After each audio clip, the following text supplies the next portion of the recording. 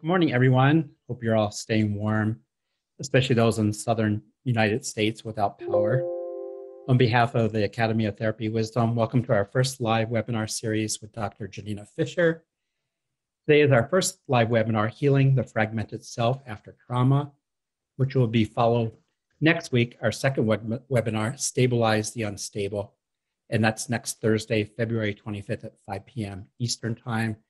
And everybody on the call will get an email with coordinates how to join us. Um, while we wait a few moments for folks to join us, I invite participants on Zoom to share and chat where you're calling in from and if you could, what attracted you to the series.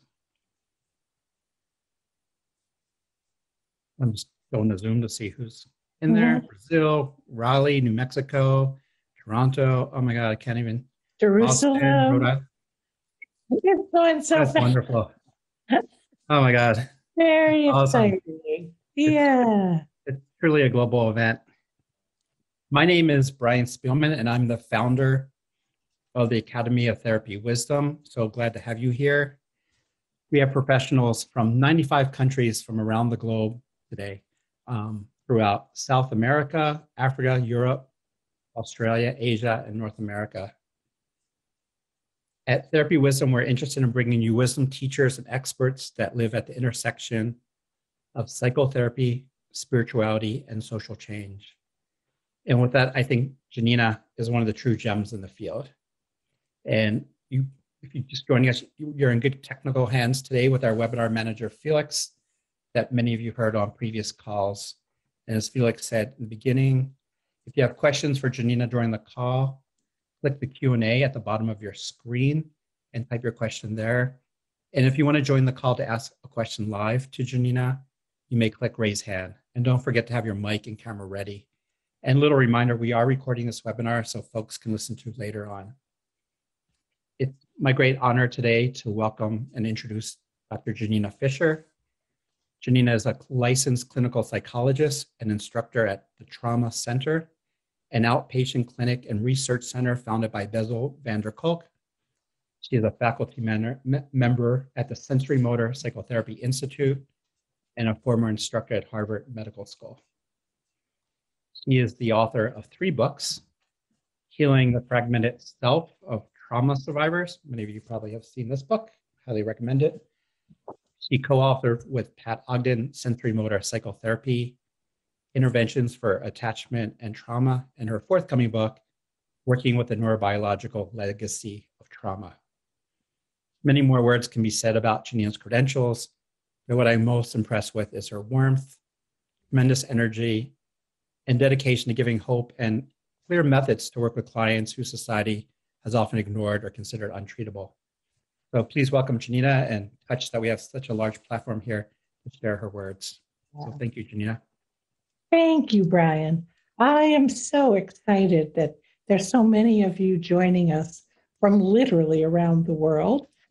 Uh, just a reminder that if you have questions about your technical issues, questions about getting handouts or getting the recording, uh, put those in the chat so they'll be seen by our tech support team and if you have questions for me that are more clinical, I'll put them in the Q&A box. So let me go ahead and start because we just have an hour today, but luckily uh, an hour coming up on the 25th as well. So let's talk about fragmented selves. Uh, you know, the word dissociation, I can remember from the earliest days in the trauma field, was a bad word. And so was the term borderline splitting. And so, all these years, the 30 years I've been in the trauma field, the 40 years I've been a therapist, there hasn't really been a good language to describe a particular group of clients. And what we know about this group of clients, whatever their diagnosis, is that the vast majority suffered some type of abuse or traumatic neglect in childhood. And that sets up a terrible internal struggle for children, for any human being, because we all have an instinct, an automatic instinct to seek our loved ones when we feel in danger. But for children of abuse, the source of safety is the source of danger. And so children are caught in this internal battle between the need for connection and the need for safety. And, and it is a terrible, a terrible, tragic situation. The other thing that happens in the context of trauma is various mental mechanisms, brain mechanisms that allow us to get distance from overwhelming events. Think a two year old, a three year old doesn't have the capacity to tolerate events that would overwhelm an adult. So we need psychological distance to survive without actually going crazy. And especially for developing children, a sense of self has to be kept separate from the trauma.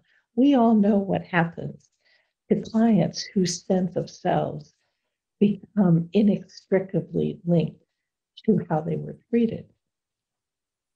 We've all heard clients describe the disowning of this abused, wounded, bad child. They say, I floated up to the ceiling and watched what was happening from above. I watched what was happening to that other child. Sometimes they say, I pretended to be asleep. Sometimes they say, I blacked out. I don't remember what happened. And all of those describe what I'm going to call today fragmenting. We've called it dissociation for many, many decades, but dissociation has a whole host of meanings that has made it a very unpopular word. So let's normalize it. Let's think about how that young child needs to fragment so that after the abuse, there is at least part of the child that can get up and go about being a child. And very, very conveniently, if we disown the traumatized part of us, we also disown what happened so that it becomes easy to say to a therapist years later, Oh, my parents weren't abusive. It wasn't so bad. I wouldn't call it trauma. And then, of course, smoke starts to come out of the therapist's ears, even though we can't express it, because we see the minimization as if the whole of the client is denying what happened. But actually, what the client is expressing is the way that this fragmentation and self alienation allows the client to say, it wasn't so bad, while the other side of the client told how bad it was. Here are some of the signs that individuals are suffering from the many ongoing results of having to be alienated from themselves. You know these clients, I'm sure, as well as I do. Clients who are filled with self hatred, self doubt, self judgment, who attack every shred of self esteem that they feel and have no ability to take in contradicting information, information that says, other people value you as good. Terminal ambivalence is a term that I made up. To describe the client who gets stuck, who wants help but can't change, wants help but can't try something new, can't make decisions, small or large, and clients who engage in what we call self sabotage, as if they make the decision to sabotage themselves. In my way of thinking, part of them wants to go forward, another part holds them back or sabotages their attempts. The clients that pry the souls of most therapists who are numb, disconnected, and in their heads. But conversely, the clients whose emotions are constantly gushing, that are overwhelming to the client, sometimes overwhelming for the therapist, the clients who have no ability to find soothing or places inside that are not in pain. Now, clients with addictions, eating disorders, who act out, um, who cut, burn, and try to kill themselves. I believe that all self destructive behavior is a manifestation of self alienation. And then think about clients with whom you often feel very confused because their responses are contradictory. They present one way one week and the next week um, in a completely different way. One week they're trying their hardest to live, the next week they're on a self destructive course. One week they feel afraid, the next week they feel enraged. Regressive or aggressive behavior without ownership. We can all say, I really, I really, I was really pretty aggressive in that situation. I was really out of line. That's ownership.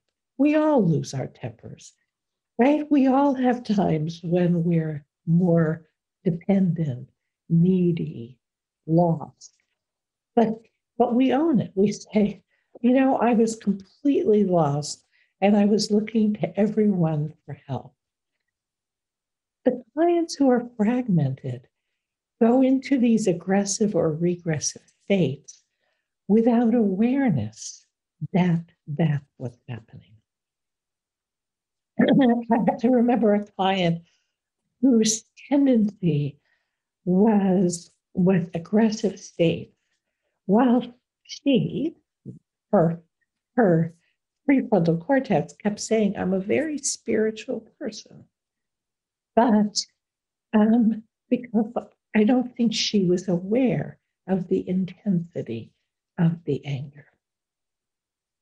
Dissociative disorders, obviously manifestations of fragmentation, but also personality disorders. The most pathologized diagnosis in the all of the mental health world. Very important to see personality disorders as manifestations of self alienation. So, I'm going to share with you the theory that that for me makes the most sense of clients who fit this description trauma survivors who have struggled with these difficulties for often years, if not decades. And it, the model that I'm using is the structural dissociation model of Onno van der Hart, Elliot Mandus, and Kathy Steele. Um, I first heard them speak on this model in probably 1998, and immediately it made sense to me. Because what they say is dissociation is is a mental ability. It's a mental, um, like so many mental abilities we have that are not conscious for us. We don't we don't say I'm going to dissociate now, but we've all probably experienced what we call highway hypnosis, where we dissociate in the midst of a long drive and still somehow end up at our destination. What they say is that the brain presents us with fault lines for dissociation. We actually don't have one brain. That's, that's how we talk about it. But the brain is composed of lots of small structures, some bigger, some smaller, that communicate via neural networks. It lends itself perfectly to dissociation and fragmentation. So the theory says that when we are traumatized, the left brain part of our personalities becomes more divided and alienated from the right brain part of the personality. And that's what allows children victims of domestic violence, veterans in combat.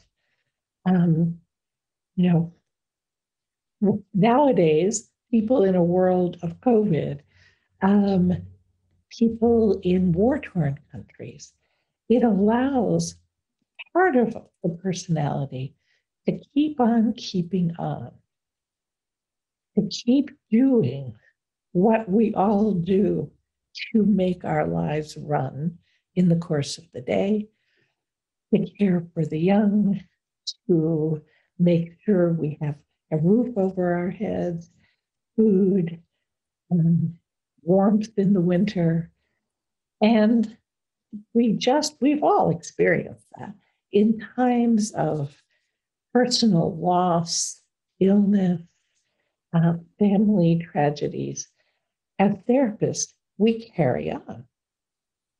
And, and our clients are shielded from the right brain part of our personalities that holds the emotions, holds the survival responses, holds the emotional memories. And what the right brain also does is it remains on guard for the next and the next and the next trauma. Because since the time of primitive men and women, we've always lived in a world where traumatic events happen day after day after day after day. And very sadly, although our world has become uh, much more complex and sophisticated, that risk of or traumatic threat day after day after day is certainly with us in this time. Now, I had a problem with the language because the authors of this brilliant theory called the left brain part of the personality the apparently normal part.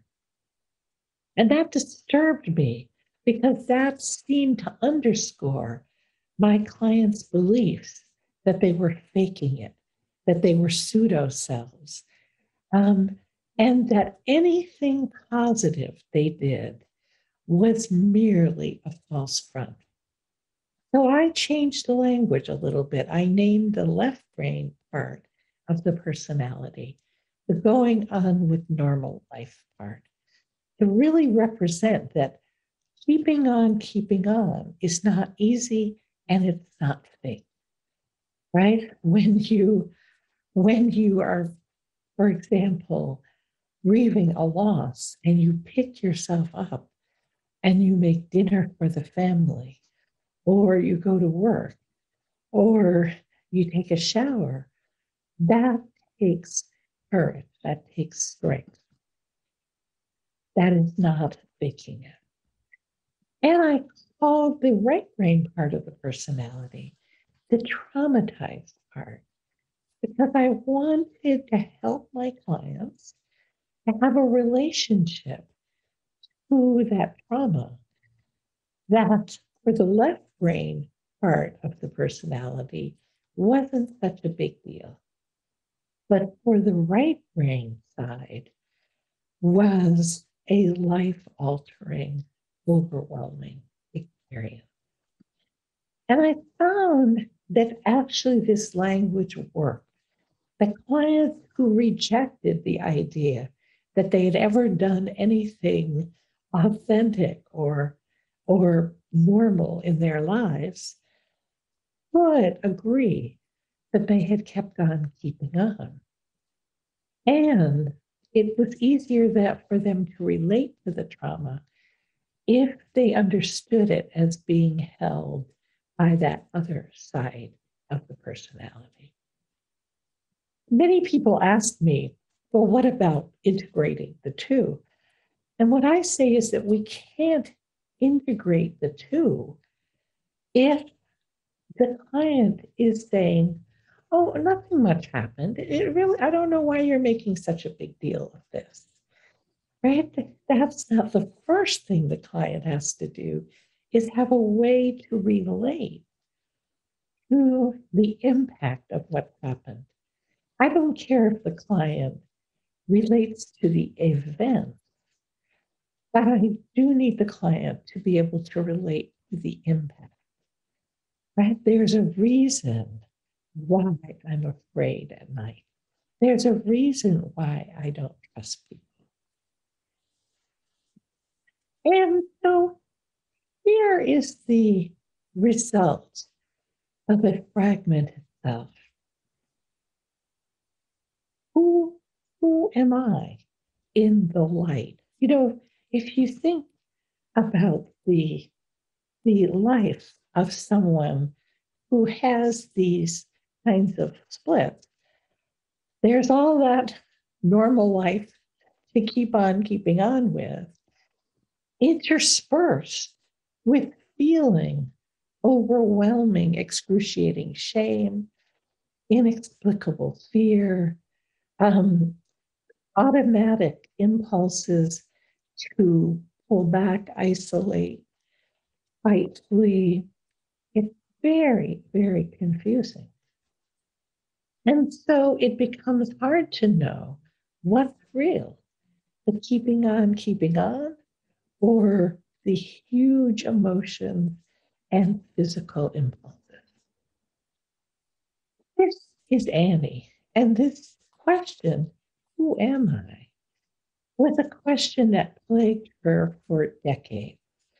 As you can see, she has a very normal life. She's sitting in her back garden um, on a homemade swing set that she and her husband cobbled together, looking out over the river that flows through her backyard. And you might notice her dog at her feet. It's a beautiful, peaceful fall day. But for much of her adult life, it didn't feel like her life. It didn't feel real that she owned this home on the river, that she'd been married for 30 plus years, that she had friends and neighbors and family of choice. What felt real was this. She said, I'd hear the voices of crying children. Dr. Dr. Yeah. Fisher, I'm sorry to interrupt you, Janina. Um, um, I'm getting a little bit of um, feedback that you're a little bit hard to hear. Would you mind speaking up a little bit? Oh, sure, Thank sure. you so much. Absolutely. We have to have people able to hear us from tens of thousands of miles away. So I will speak up. Sorry about that, everyone. And I'm just actually going to move my computer a little closer so I'm closer to the microphone. So, what felt real to Annie was her inner life. She said, I hear the voices of crying children screaming in my head and a sense of shadowy figures who keep me tied up and will not let me live my life. Very confusing. This was the life she lived every day. This is the life that felt real. The person she felt herself to be had failed at life, was constantly overwhelmed, filled with self doubt, and filled with self hatred, and unable often even to leave the house. We, we, we joke, used to joke that her parts kept her on house arrest. Now, with more trauma comes more dissociation, right? I, I remember having a conversation with Annie. She said, Why is this taking so long? Why, why are there so many parts? And I said, We all have as many parts as was needed to survive and adapt to whatever. And so, with more trauma, more neglect, more family violence, obviously more fragmentation is necessary. But the theory says the splitting is along the lines of the animal defense survival responses, which are part of our birthright. We all have that impulse, that instinct to cry for help. It's the first defense of little babies. We all have a fight impulse, even if we've never fought. We all have an impulse to flee an impulse to fear or freeze. And we all have an impulse to submit um, when we are trapped and there is no way out, which unfortunately is the case for children. Children are trapped until they are old enough to have effective fighting and fleeing responses which is not until the teenage years. So here's how I understand it each part comes to us. I thought they comes to our offices, but of course, in this in this time of COVID, we don't always have people coming to our office. We rarely have people coming to the office, but we do have people coming to see us. And often what presents is a client in the going on with normal life self with the defensive strategy of that part, I have to function. I can't afford to get too emotional because I have to pick up the children from school. Uh, I can't afford to think about the trauma because I have a meeting at work this afternoon. Often, these are clients who come with many questions and complaints about their day to day lives. Sometimes the therapist feels a little frustrated. When are we going to actually work on something deeper? Sometimes the client comes in a state of fear or freeze. And I have to remember the defensive strategy of the fear or freeze part is to evoke the sense of alarm in the body. That's what fear does. It's like it's like an alarm system that says, watch out, watch out, you're in danger. Sometimes the cry for help card presents usually as very vulnerable, very emotional, very sad, um, and very, very needy for a connection with the therapist. Often we're very happy to meet the cry for help part because we want to help. And because the cry for help part has access to vulnerability. Um, sometimes it's the submit part that comes to therapy, usually presenting with chronic depression, shame, low self esteem, hopelessness, helplessness, and a passivity, um, shut down, inability to really engage. Because if you think what a submission involves, submission requires that we go limp, that we lose all of our energy, that we numb out. And so the submission response comes with numbing, disconnection, low energy, and passivity. Maybe the client comes with the flight part.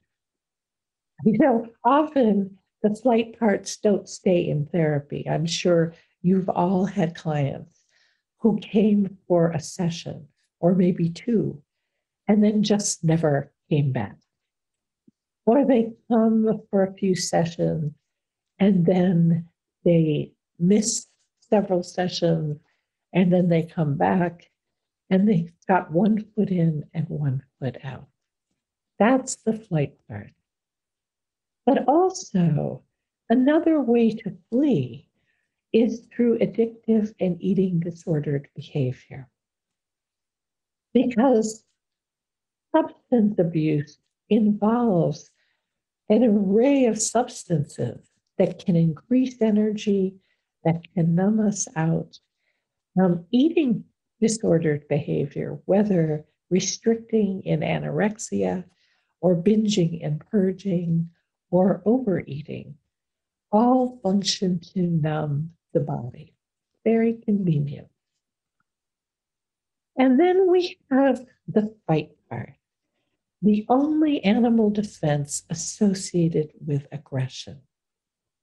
And so the fight part is associated with anger, with violence toward others, but also violence toward self. Self harm, suicidality, often um, self destructive behavior that is not um, suicide oriented, but is very dangerous. Very important in the therapeutic relationship. The fight part is the hyper vigilant, mistrustful part. The flight part simply avoids us. Um, the fight part is openly mistrustful and often um, very resistant to treatment because it seems to involve vulnerability and trust. So that's our cast of characters. And this is the cast of characters that we see when clients come with a borderline diagnosis or come with a narcissistic personality disorder diagnosis, come with a complex PTSD diagnosis, come because of an eating disorder and addiction, um, self harm, suicidality, uh, chronic depression, uh, chronic anxiety. All we see those clients every day in our practices.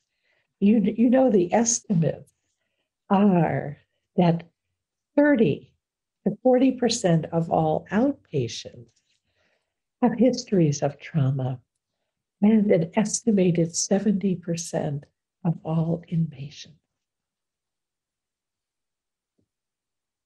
The problem that we have to help people with is that the parts perceive the world as dangerous. There is no sense that it's over. In my in my new book, I write about this. It's a phenomenon that really just came to me fairly recently. That for our trauma survivors, time stopped in the middle of the event. They don't have a sense of a beginning, a middle, and an over. They have very little sense of, "Oh, I survived.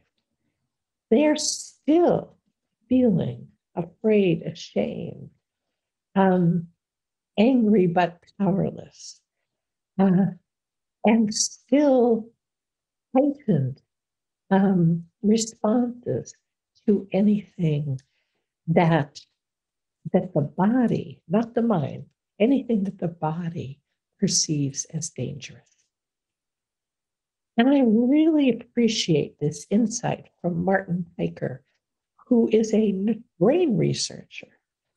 But from his study of traumatized children and adolescents, he has noted if an individual is born into a malevolent and stress filled world, it is crucial for survival that he, she maintain a state of vigilance and suspiciousness that enables him to readily detect danger. He will need the potential to mobilize an intense fight flight response and to react aggressively to challenge in order to facilitate survival. And we, we see that in our clients. They come for help, but at the same time, that state of vigilance and suspiciousness comes with them. As much as they want our help, their bodies react aggressively to challenge. And then he goes on to say these animal defense survival responses markedly augment the individual's capacity to rapidly and dramatically shift into an intense aggressive state when threatened by danger or loss. Very, very important because we often forget that for trauma survivors, for traumatized children, loss is as big a threat as, as physical violence. And so, loss, subtle things. Uh, you know, I'm, I'm thinking, I, am actually thinking of patients in hospitals um, who have had these rapid and dramatic shifts into an intense aggressive state when a favorite staff member um, left the hospital, moved to a different unit, went out on maternity leave. Um, so the loss doesn't have to be a bereavement, it doesn't have to be a devastating loss. Loss or the threat of loss, even something as simple as the ending of the therapy hour, may be enough loss to trigger these intense states. And what threatens stability, and we're going to talk more about, about the stabilizing the unstable in our next webinar. Being fragmented does not cause instability. What causes the instability is the inherent conflict between these different survival responses. So, for example, vulnerability, asking for help, becoming attached to one therapist is in direct competition to the instinct to flee or fight or resist or control the treatment. So often I can think of, of clients where I just thought, okay, we're making some progress here. And then the very next session, um, that sense of therapeutic alliance breaks down. Often, the willingness to work with us is interpreted as submission by fight and flight parts. And so, again, often there's a struggle between the wish for help and the ability to accept help. Often clients express a wish to trust, but always that wish to trust is in conflict with the hypervigilance and mistrust.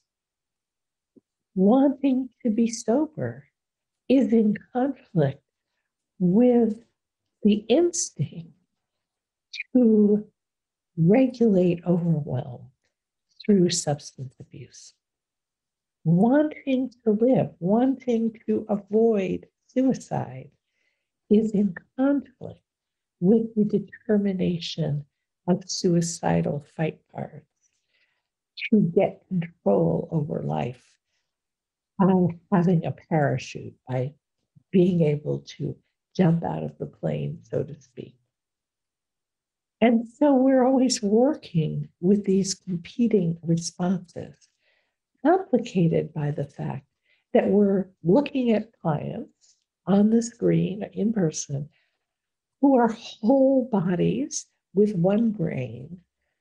And when they say, I'm suicidal, we assume that represents the whole person. When they say, I'm depressed, we assume that represents whole person. And we have to remember that if this client is a trauma survivor, the chances are very high that it's fragmentation. The client's hopelessness is the feeling of one part, but the client has shown up for therapy, which means there's another part that hasn't given up hope. And that could be very hard for the therapist to remember, much less the client. Annie says it very well. She says the problem is that each part is still trying to fix it in her own way. And I remember asking her, Fix what, Annie? And she said, Fix what was wrong then. These parts are still in the trauma, even if the client has gone on to live a very healthy, normal, productive life. So I'm going to end with this cartoon that really expresses the approach we're going to take in these webinars.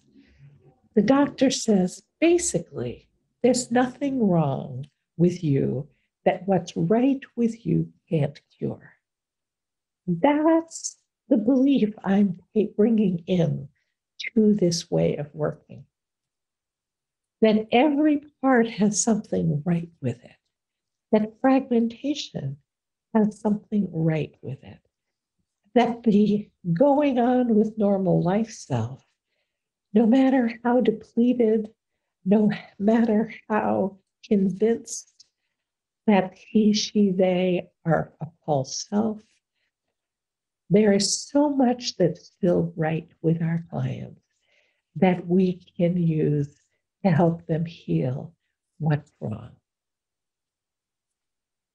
So let us take some questions because this is really, really what I think is so uh, wonderful about being able to have webinars in the middle of a pandemic is that we can talk to each other. So let me take uh, uh, some of the questions that have come up, and there are many, many, many, many, many.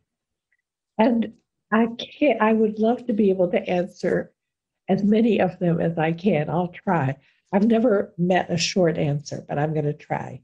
Uh, Stuart says, Can you say something about psychosis and self alienation. Yes, you know, the research in the last five to 10 years on the, on the association between psychotic disorders and trauma has been very shocking. The statistics are that trauma is highly associated with schizophrenia and other psychotic disorders. So, therefore, let's assume that it has to include self alienation. Also, we know that many trauma clients are misdiagnosed as psychotic because they hear voices. Um, despite the fact that we have research showing voices being reported by combat veterans, by clients with borderline personality disorder, even in a normal university sample. So we have some clients who are really trauma clients with psychosis diagnoses. So thank you, Stuart, for raising that because I think it's something for all of us to keep in mind. um, Marina Rodriguez, bless you, Marina, for saying this. The focus on clients reinforces the fragmentation between us and them. Many therapists are also clients. We are talking about people who sometimes might be therapists as well. And this needs to be acknowledged, absolutely. And thank you so much for, for making that request. Years ago, probably six or eight years ago, I remember I put out a, an invitation um, to a group of 200 therapists at a workshop in London. Uh, I said, any of you who had secure attachment as a child and still went on to become a therapist, please see me at the break. One person came to see me at the break. I put out this invitation many, many times probably to thousands of therapists in total. I've had about 10 who have said, I had a safe, normal, secure attachment in childhood, and I still decided to become a therapist. Uh, yes, we are them and they are us for sure. Um, let's see. Um, So here, um, here's a, a, wonderful example of a problem that we encounter a lot from Iwa, and please forgive me if I'm not pronouncing your name correctly. Hello, I have a patient with hidden trauma. Uh, she doesn't want to remember abuse from childhood. Um, client has a problem showing any emotion but mostly anger. Have impression that the therapy is stuck. Uh, the patient doesn't want to touch any part of emotions, far away to the point that she can talk about the trauma. What are my suggestions? So immediately, thank you for that. Because immediately I think, okay, no emotions other than anger allowed. That's the fight part. The client has come to therapy, most, likely the normal life self. And um, and this phobia of emotion has to be acknowledged as normal. So I ask clients eh, to, and just I just see a lot of questions coming up in the chat box. Remember, I don't get to see the chat box. If your question is in the chat box, I will never see it. And I'll be sorry about that. So make sure you put your, your clinical questions in the Q&A box. Um, so this is a client whose fight part is in control. Um, and I would probably ask that client, was it ever safe to have emotions in childhood. So I'm not asking for details of traumatic events. I'm saying, was it safe in your family to have emotions? Most clients tell me, no, it wasn't safe. Which emotions were the most unsafe? And, and then I can say, well, no wonder your mind and body do not let you feel those emotions that were unsafe then. I don't need to talk about traumatic events with clients.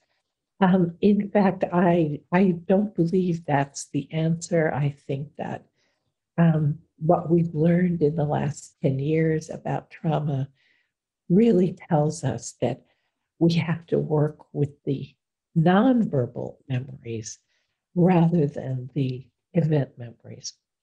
Um, but that that's a question for a much longer. That's a, probably a whole webinar in itself.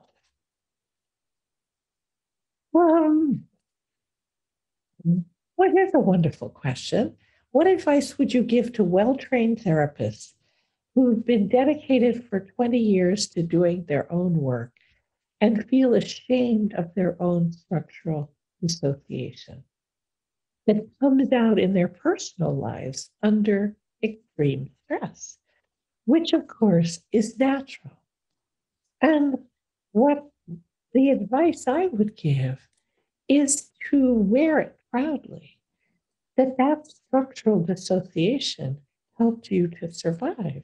I say this to clients all the time. I say, had you not been able to fragment, if you hadn't been able to dissociate, we wouldn't be sitting here right now.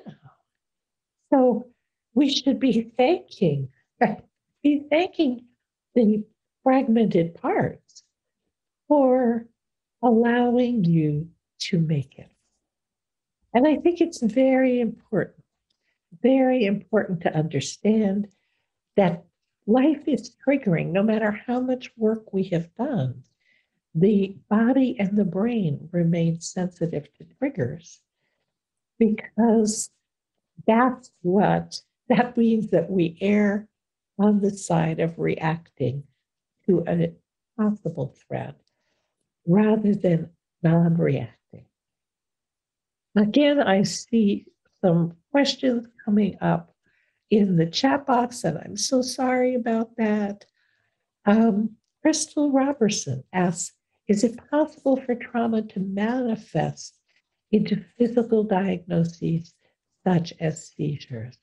Absolutely. The dissociative disorders literature is full of, um, of papers about dissociation and pseudo seizures, dissociation and tics and twitches. We have a whole literature on the association between trauma and a compromised immune system. Um, so absolutely and and you know the thing that's to me that is exciting about the work that I've developed that I call trauma informed stabilization treatment is that it's designed for some of the clients that you all are talking about in your questions. Clients who are too overwhelmed to think clearly, who can't go inside because inside is such a chaotic and frightening place. Um, clients who have very, very frightening parts, parts that frighten others, but parts that also frighten the client. Um, I had clients who are so, I would call it hijacked, so identified with parts that attack them and judge them. Uh, these are all the kinds of clients for whom I designed trauma informed stabilization treatment or TIST. Oh, let's see. We have, let me see what. Here's a question. So, up from Aparajita in India, she says, uh, I want to ask at times when adolescents start having blasphemous, blasphemous thoughts post sexual trauma, which are prolonged and repetitive. How do we manage it? Um, I think so. I, blasphemous thoughts. Um, I'm assuming um, by that you mean um, self attack um, or highly sexualized or or sadistic sexual uh, kinds of thoughts. I uh, those are clients for whom I would use this model, and I would talk about the part that is trying to keep them hypervigilant. So, you know, intrusive images, flashbacks, um, um, shaming, humiliating thoughts, all are ways that keep the body on guard and hypervigilant. Um, so that's my guess that you're looking at manifestation of hypervigilance. Um, Francesca raises the question Do you need trauma to suffer from self alienation? You know, there are many kinds of self alienation.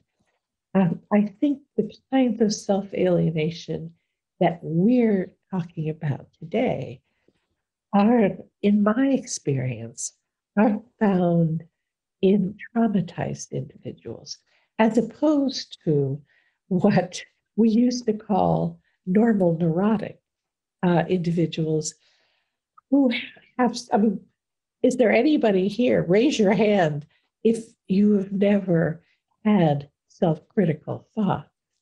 I think most of us have a critical, judgmental, uh, self doubting part.